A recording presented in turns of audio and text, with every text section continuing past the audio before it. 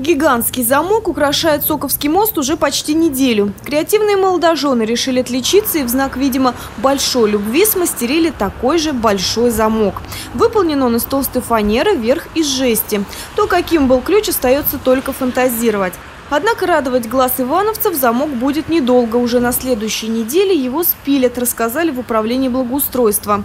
Якобы огромный замок мешает прохожим. Не сделали этого сразу, чтобы не расстраивать молодоженов.